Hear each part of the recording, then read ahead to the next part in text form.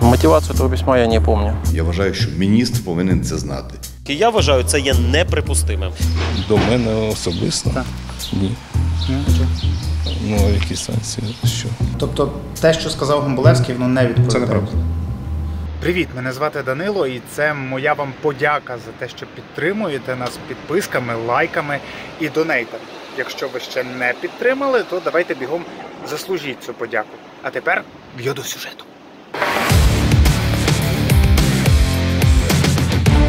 Давай, уяви, що таке мати 400 мільйонів гривень.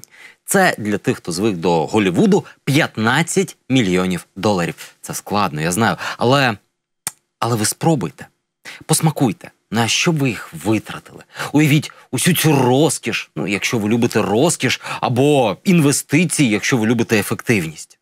Угу, так, спокійно насолоджуйтесь уявними мільйонами. А тепер ви їх втратили. Не в сенсі у вас їх немає і не було, а були, були і зникли. Сумно, правда? Що б вам захотілося зробити з людиною винною у їхній втраті? Оу-оу-оу-оу-оу-оу, полегше, це вже занадто. Ну, але настрій всі вловили. Принаймні, я сподіваюся. От збережіть це відчуття.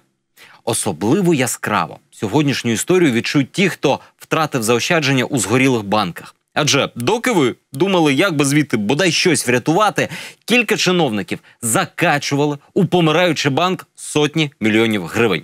Гривень підприємства, яким вони керували. Пау! Ефективний фінансовий менеджмент. Розмістити на депозитах майже півмільярда без надії повернути ці гроші. Ну, принаймні без надії повернути їх на рахунки держпідприємства. Воно, до речі, зветься Украерорух, опікується українською авіацією, і це все не важливо. Важливо, що за кілька тижнів до банкрутству Платином банку керівники цього держпідприємства залили туди купу грошей, які там і згоріли. І знаєте, що трапилось далі? А нічого, всі досі при посадах. Ні, ну щось трапилось, вони отримали догани. Данило Мокрик про те, як прогубити півмільярда і жити щасливо. Можливо, навіть щасливіше, ніж до цього.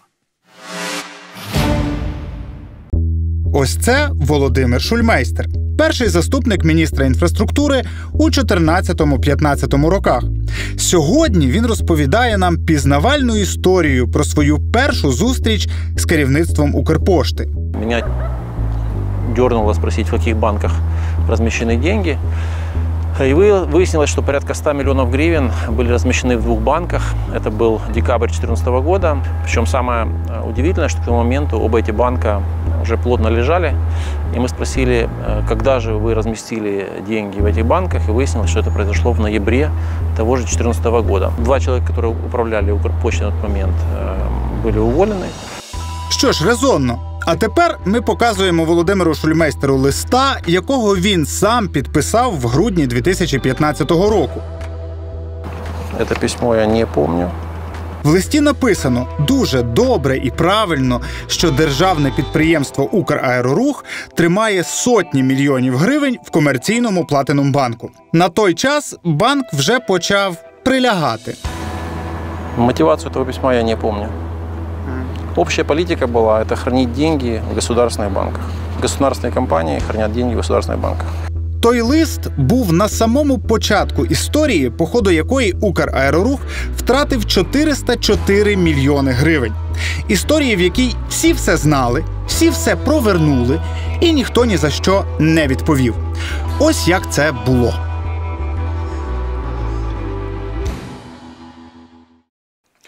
Все почалося 1 грудня 2014 року. Тодішній міністр інфраструктури Максим Бурбак призначив директором Украероруху Дмитра Бабейчука. Призначив без конкурсу і без погодження з Кабінетом міністрів і Київської ОДА, тобто з прямим порушенням процедури. Через півроку Украерорух під керівництвом Бабийчука укладає депозитний договір з Платинум банком. Туди йдуть перші 280 мільйонів гривень підприємства. Вже восени народний депутат Артур Герасимов вперше пише міністерству, що цей депозит має ознаки корупції. Те, що я пам'ятаю, і колектив дуже багато протестував проти таких, ну, на мою думку, кримінальних дій керівництва. Так, колектив протестував. Тієї ж осені профспілка написала листа Міністерству інфраструктури, де сказала і про Платинум Банк. Якраз на цього листа, 10 грудня 2015 року, відповів перший заступник міністра Володимир Шульмейстер. Це дозволяє диверсифікувати фінансові ризики, здійснювати більш гнучке керування грошовими потоками та отримувати додатковий дохід від нарахування відсотків на залишки грошових коштів на поточних рахунках. Это письмо я не помню. Общая политика была – это хранить деньги в государственных банках. Государственные компании хранят деньги в государственных банках. На той час перші сигнали про проблеми Платинуму вже були. З банком судився оператор мобільного зв'язку МТС, бо Платинум відмовився повертати йому 250 мільйонів гривень депозиту. В той же час борг Платинуму перед Нацбанком вже вимірювався сотнями мільйонів. Всі ці дані були відкритими. На початку 2016 року тоді ще заступник міністра Володимир Омелян видає жорстке розпорядження щодня інформувати його про стан поточних рахунків. Вже після краху Платинумбанку в акті службового розслідування Украероруху буде написано. Таким чином, кожен факт перерахування коштів був доведений до Міністерства інфраструктури України. Працівники Украероруху кажуть, заступник директора Сергій Гомболевський сам розповідав, що в міністерстві про всі дії з Платинумбанком добре знали. Перший раз він сказав, що узгодив з міністром перерахування на Bank із директором. В другий раз він сказав на іншій раді підприємства, що це він узгодив з міністерством і з директором. З вуст самого Гомболевського це звучало так. Я вчера на конференции сказал, что с. Я сказал вчера просто одной фразой. Через полчаса министру Facebook написал один из диспетчеров. Это правда. Задает вопрос, что Гамбалевский согласовал с вам 3470 миллионов в конце года. Я не хочу об этом нигде говорить официально. Не хочу писать. Почему? Потому что нашу ситуацию, которая это, раскачивают вплоть до того, что снять министра, понимаете? В другій половині 2016 року напруга починає зростати. З'являється все більше і більше повідомлень про проблеми Платинуму. 28 липня директор Украероруху Дмитро Бабейчук листом питає в міністерства, чи можна йому продовжувати співпрацю з Платинум банком. Відповіді не чекає. Вже наступного дня, 29 липня, зустрічається з представниками банку, і вони домовляються про логічне про графік поступового виведення коштів. Є навіть відповідні накази Украероруху. Ніякого виведення, втім, не відбудеться. Навпаки, 24 листопада заступник директора Ігор Касьяненко погоджує новий протилежний план до кінця року завести у платинум ще 90 мільйонів гривень. Для цього їх спеціально забирають із рахунків підприємства в державному Укргазбанку. Ці кошти перераховують через декілька днів. На цей час про проблеми платинуму вже говорять на всіх зупинках. До його остаточного краху залишається 43 дні. Але і це ще не всі мільйони, які встигли поховати в напівмертвому банку. Коли до падіння фінустанови залишається 13 днів, Украерорух затверджує новий графік. На виведення коштів дається ще цілий рік. А вже наступного дня підприємство перераховує в платинум ще 70 мільйонів гривень. Рішення приймає заступник директора Украероруху Сергій Гомболевський. Згодом він пояснить, на останніх подихах платином запропонував йому вигідні відсотки. Треба тільки розмістити тих 70 мільйонів з 29 грудня по 10 січня, а потім їх віддадуть, чесне слово. Але 10 січня 2017 року Украероруху нічого не віддають. У цей день Національний банк України визнає платином неплатоспроможним. На той час державне підприємство тримає там 404 мільйони гривень. Отже, давайте підведемо підсумки на цьому екваторі. За два місяці до смерті Платинуму, всупереч рекомендаціям міністерства і внутрішнім наказам, керівництво Украероруху перераховує в Платинум ще 160 мільйонів гривень. В міністерстві мають про це знати, як же щоденно інформують про рух коштів на рахунках. В той час вже добре відомо, що Платинум проблемний з голови до ніг. Ось що про це пише в той період дзеркало тижня. Згідно з результатами стрес-тестування, які є в розпорядженні редакції, Platinum Bank потребує колосальної докапіталізації. Мобільний оператор МТС вже давно і публічно вимагає визнати Platinum проблемним. Нацбанк своєю чергою вже давно заборонив Platinum брати кошти від держпідприємств. Тим не менше, з Украероруху до Платинуму, ніби ні в чому не бувало, далі рухаються кошти. Вже після краху почнуться гарячкові пошуки винних, не дуже успішні пошуки. 10 січня 2017 року директор Украероруху Бабейчук призначає службове розслідування, щоб розібратися, як так сталося і хто винен.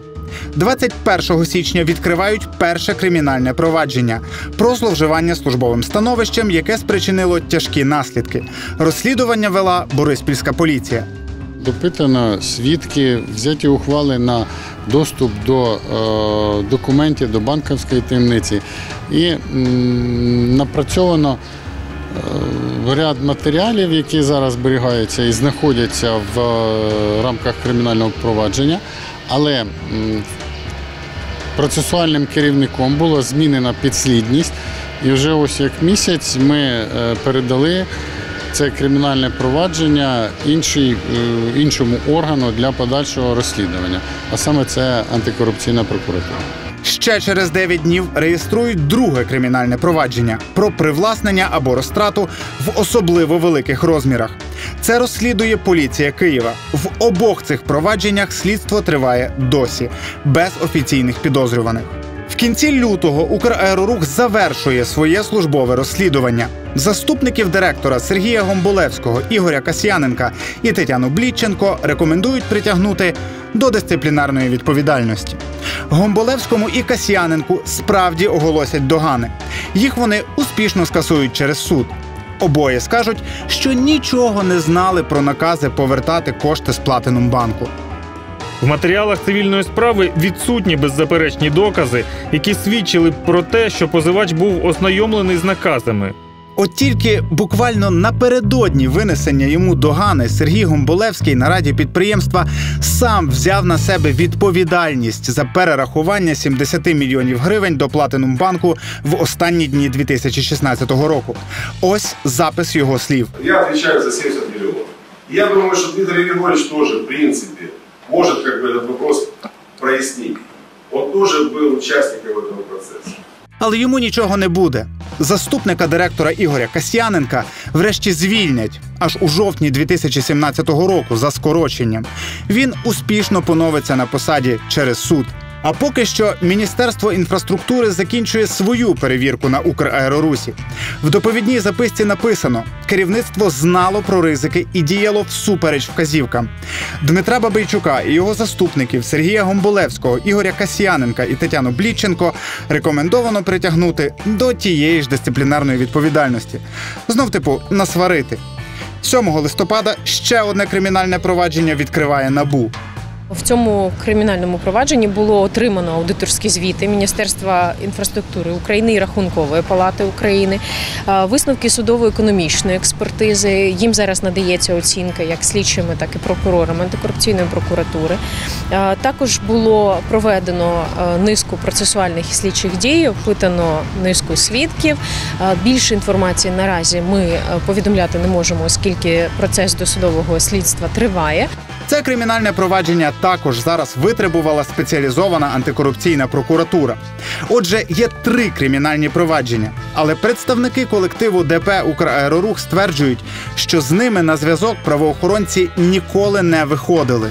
Вас викликали на допити хоч в якомусь кримінальних проваджень? Е, ні, жодного разу. Жодного разу жоден орган вас не Ні. викликали на допит. Жодного разу. Забігаючи трохи наперед, те ж саме ми почуємо і від міністра інфраструктури Володимира Омеляна. Вас не допитували?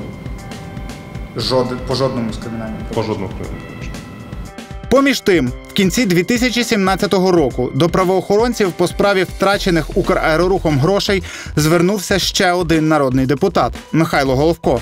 Виглядає так, що це спланована операція, яка покривалася на найвищих е, ешелонах влади, тобто на рівні кабінету міністрів, на рівні міністрів.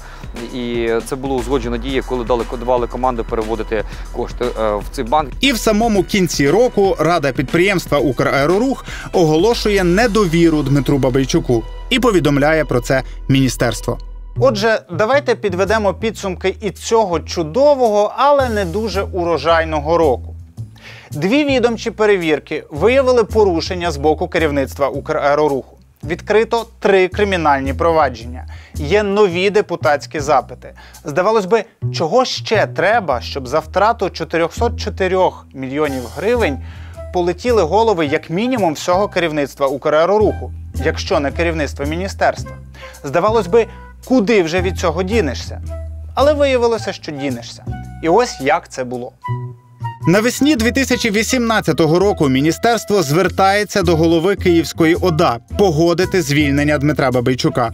Голова облдержадміністрації дає добро. Не вистачає лише остаточного рішення міністерства. Бабайчук залишається на посаді.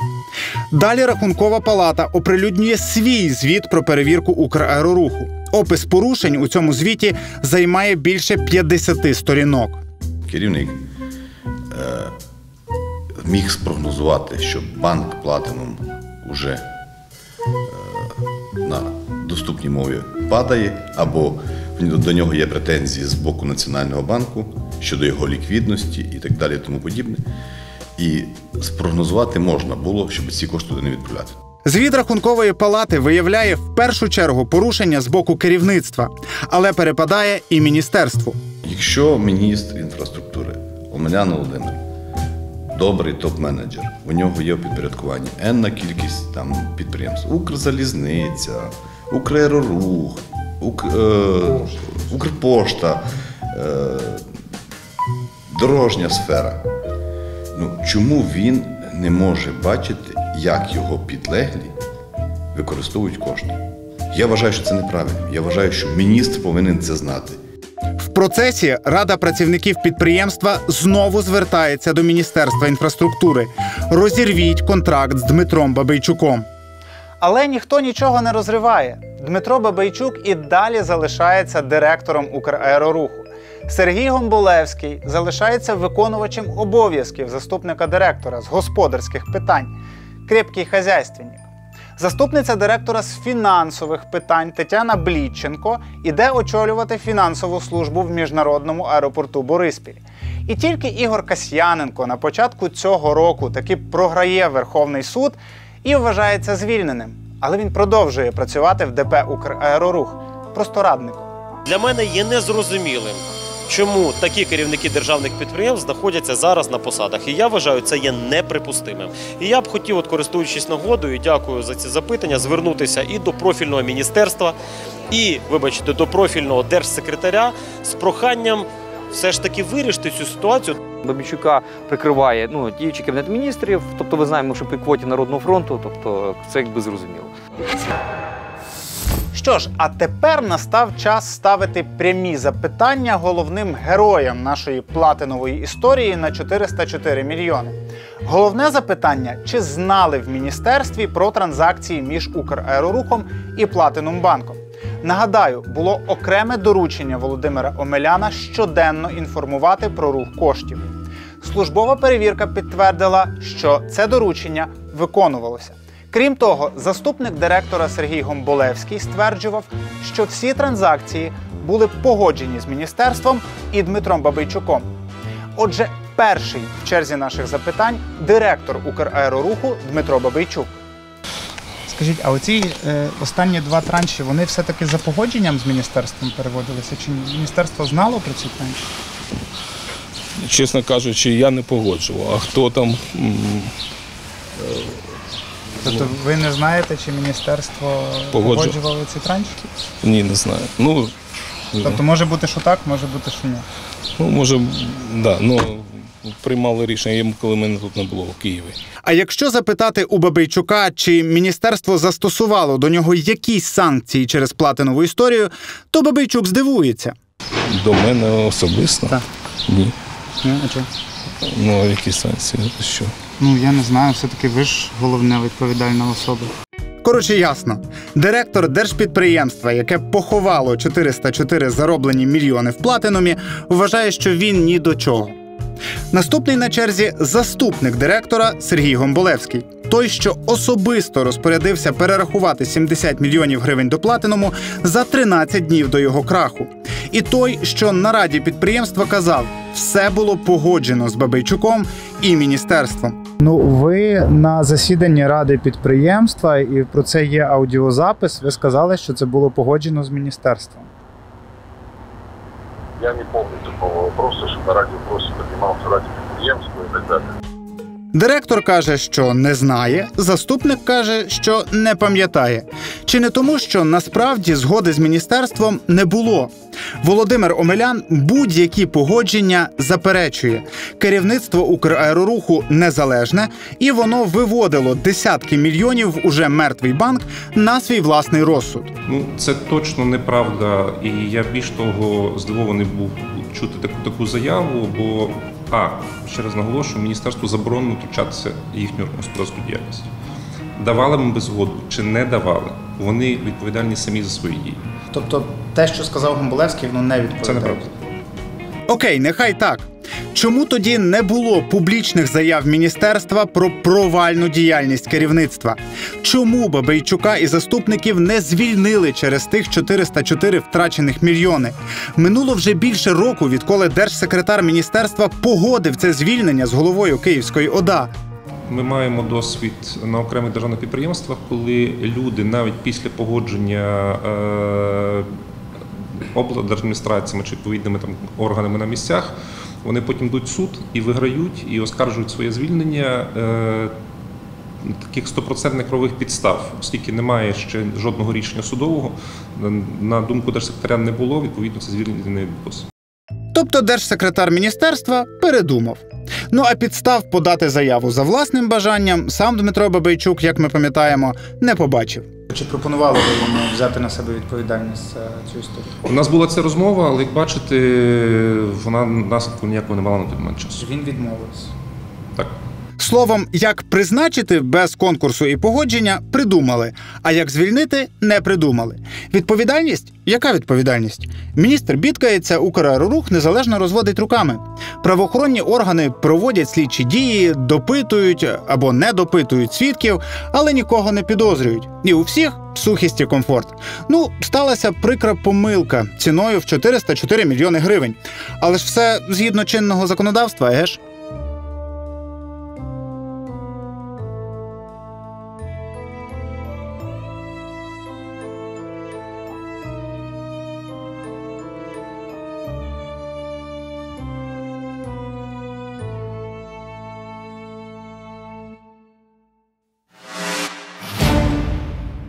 Ну що ж, на сьогодні все. Якщо у вас є питання, а вони певен є, де розслідування стосовно парламентських виборів, де розслідування стосовно за команди, то все буде. Ми працюємо, просто бачите, часу. Обмаль нагадую, на нашому Ютубі можна подивитись все, все, все, все, все там більше ніж ви бачите по телебаченню. Тому заходьте на наш канал Б'юсінфо, підписуйтесь, тисніть дзвоник, отримуйте усілякі нагадування. Заходьте до нас в соцмережі, ставте нам там питання. Ми відповідаємо за ось цим посиланням надсилайте нам якісь важливі цікаві теми. А за ось цим посиланням можете підтримати нашу команду копійкою, якщо вам, звісно, подобається те, що ми робимо. Це були наші гроші. Денис Бігус. Ми побачимось за тиждень. До зустрічі.